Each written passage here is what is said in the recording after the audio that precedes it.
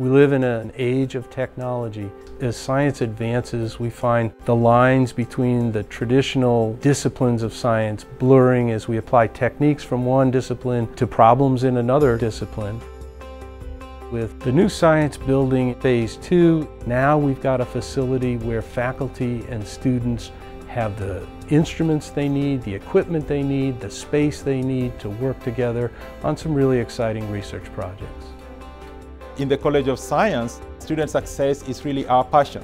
We want to do anything we can do to help each and every student we have here to succeed.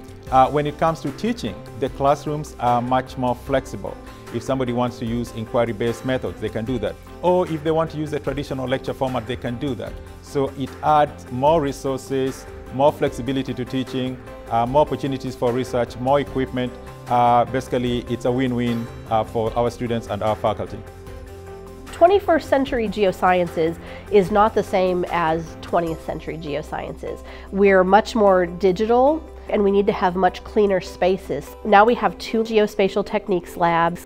They have monitors that are more appropriate, that they have the appropriate processing power for us to be able to do state-of-the-art geospatial analysis. Now we have a new hydrogeology space with state-of-the-art equipment. So all of these things that are 2017 skills and beyond, we can now do.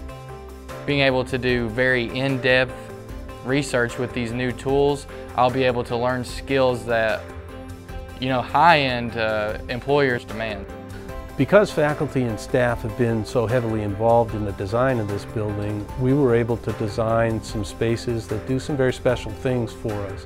On floor five, we have two very large biomedical research labs that permit faculty and students to work on a variety of very interesting questions in the biomedical field.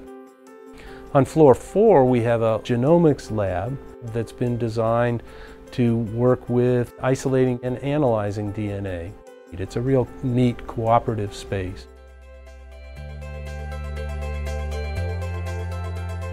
We've continued many of the design elements that we started in phase one, and a bunch of those are aimed at making the building as environmentally friendly as possible.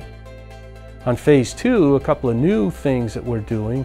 Uh, there are a couple of spots where we are installing green roofs, and the plants on the roof lower heating and cooling costs, and they're an attractive feature as well.